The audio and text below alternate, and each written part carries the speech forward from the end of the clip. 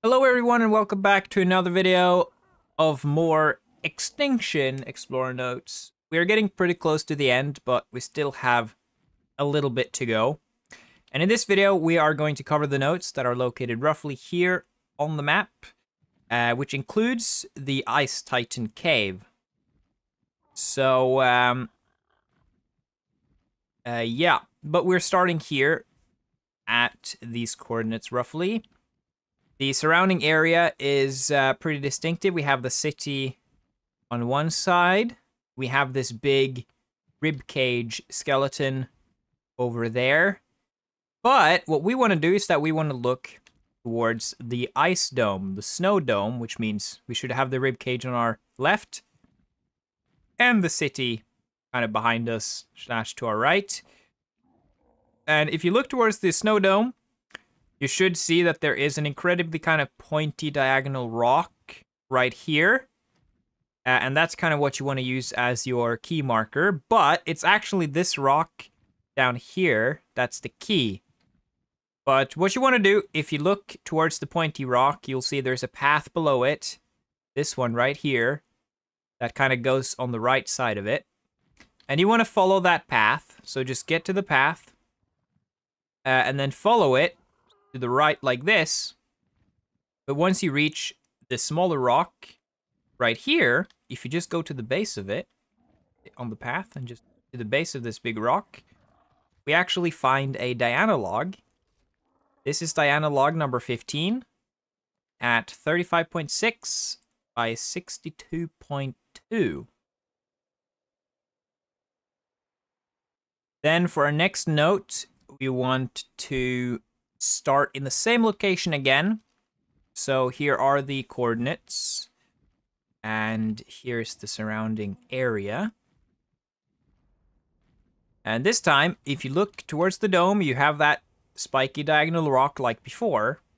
But we want to actually look left, and you see there's a massive rock over here as well. But if you look down, you'll see that there is another rock that's not quite as big, but it's this one. There is quite a few kind of rocks of similar size in this area, but it is this one that's closest to this rock right there that we want to go to. What you want to do is that you want to go left of that rock till you get to here. So here's the rough coordinates. But uh, yeah, so you're now kind of on the left of that rock if you look towards the snow dome.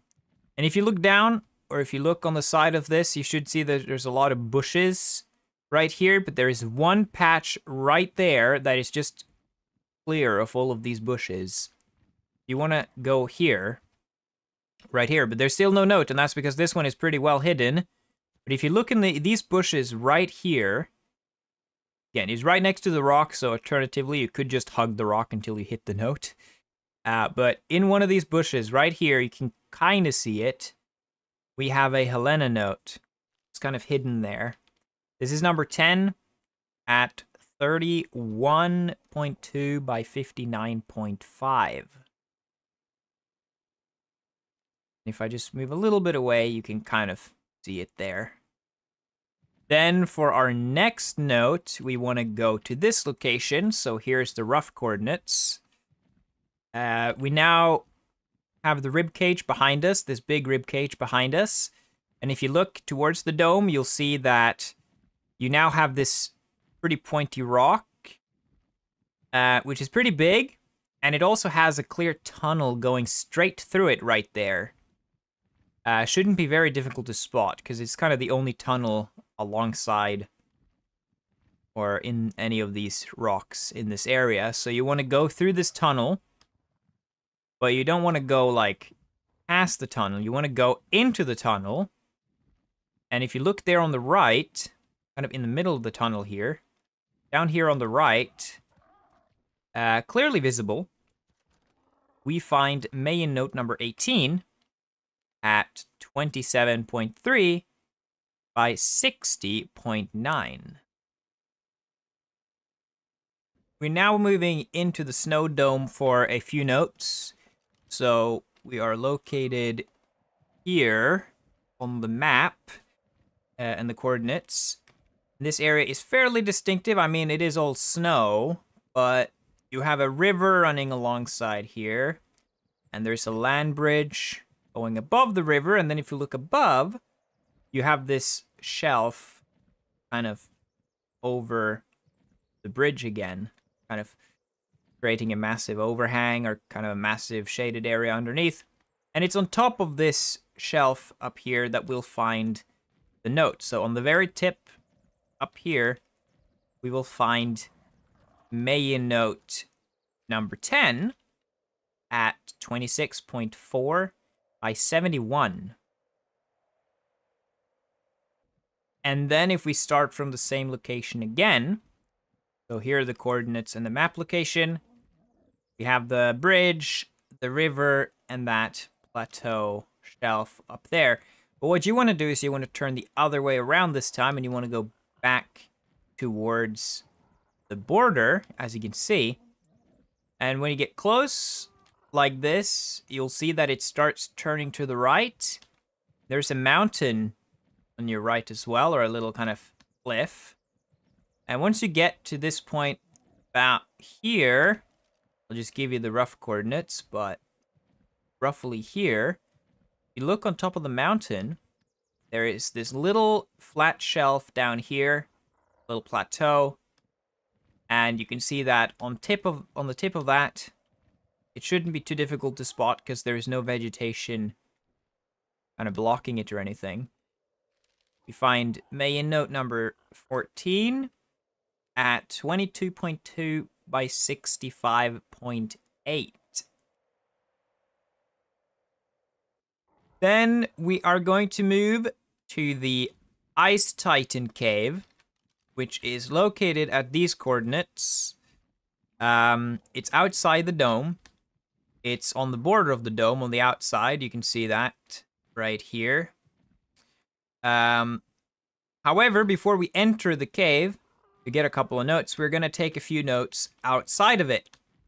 Uh, the first one is kind of tricky, but it's not too difficult. You want to move to basically the very entrance of the cave like this. And you see that there is quite a lot of trees kind of around it, these white trees. But if you look to the right, it should be a pretty tall one. It's much taller than the rest. And if you go behind that, if you land on the closest side, so the entrance should be on your left, around the back, you can see that hidden in the grass here, we find Meiyin note number 17 at 20.6 by 61.7.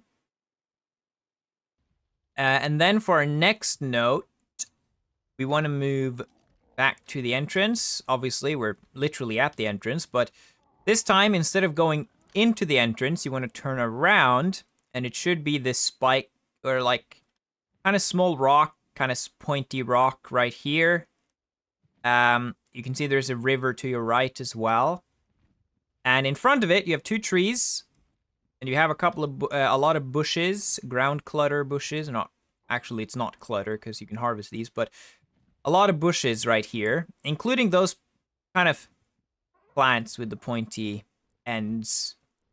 And you can see that among the all the bushes here, and right next to some of these yellowish pointy plants, you will find Helena note number 12 at 19.7 by 60.8. And then for the final note that is outside of this cave in the immediate area, we have to look towards the cave entrance, but we have to go above it. You need to get up on top of the border, and you actually want to go through. Go back into the ice dome, like this. And then if you look right, you see one of these. You should be in, in the middle of these sort of, I guess, force field machines or whatever. I don't know what these are. Projectors. Uh, you should be in between two of them, and on the one on the right, so the cave is behind us, looking towards the obelisk. The one on the right, if you go towards it, you should see that there is a Diana log right here. Uh, Diana log number 19 at 21.2 by 62.9. Then we are going to finally enter the cave to find the next two notes. There's only two notes in there, but we're going to find them. So again, here's the cave entrance. It isn't e very difficult to find because it's massive. What you want to do is enter it. Now, by default, you're not allowed to bring flyers into caves, so you might have to do this on foot, but I'm going to use a flyer. So, the first thing you got to do is just get down in the cave. Uh, there's only one way going down, so this part shouldn't be too difficult.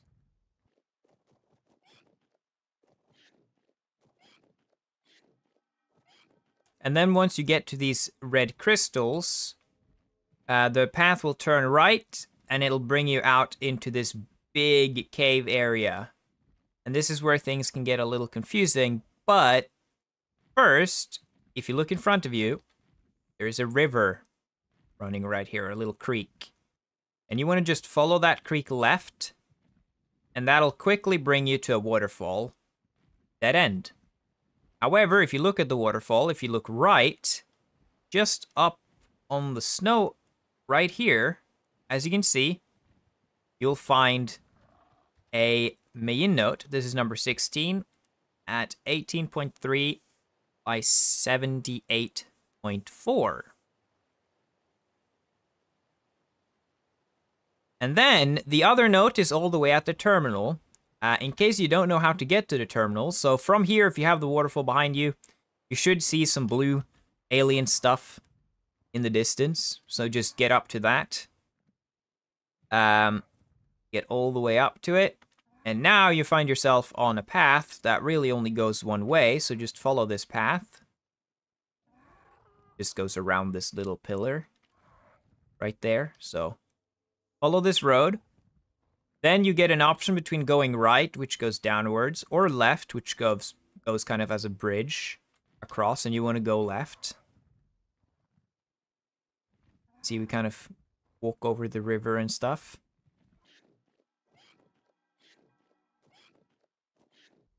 And from here, literally, there's only one way you can go. Unless you decide to jump down the side, there's only one way you can go. You'll come to some water, just go past that. Let's go past that. And if you look to your right, uh, we actually walked past it, but the terminal is on our right over there. So just follow this path around. And as you can see, there is terminal. Uh, as you can see, you can alternatively follow the river and walk up the side here. There's many ways to get to the to the terminal, but I just chose the traditional road. Anyways, uh, when you're here, what you want to do is walk up the ramp like you would. And once you get up here, instead of walking to the terminal, just look left.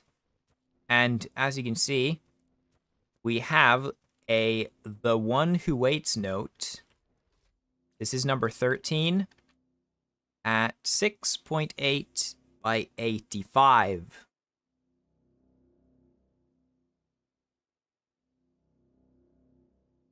And that was the final note, so you can now make your way all the way back outside. Then, for the next note, we want to move to this location. So we are now pretty far up on the map and we are at this sort of gateway almost leading into the dome right here. So yeah, it looks like a gate. It's a border post right there. Um, and this one can be a little easy to miss because it's located in the middle of nowhere like half the notes. But anyway, if you look to the right, you see the ice right here. If you look down on the bottom, you should see that there's a lot of bushes and then there's like two rocks right there that are kind of halfway inside the ice. And if you just go to these two rocks right here, and then just look towards, you know, kind of follow the ice towards the dome, you'll see that among the bushes right here, pretty quickly, you'll see we find Meiyin note number 17 at 10.6 by 64.4. Then for the final note of the day, we will move to this location right here. So roughly these coordinates, uh, we are very close to the border. We are inside the dome, but we are very close to the border. You can see a post right there. Uh, and there's also a lake here as well. So it, sh uh, it should be pretty easy to find this place. And what you want to do is quite simple. So if you start at the border post, you can see that there is a kind of shelf, cliff, kind of right here. You just follow that, and then it will soon steeply drop down to a lower level. And as soon as it's dropped, uh, it drops down, you should see that right there we'll find a Meiyin note. Uh, so this is Meiyin note number 13 at 10 by 72.2. And with that, we are done for this episode. If you did find this one helpful, please like and subscribe. And I'll see you guys next time. Goodbye.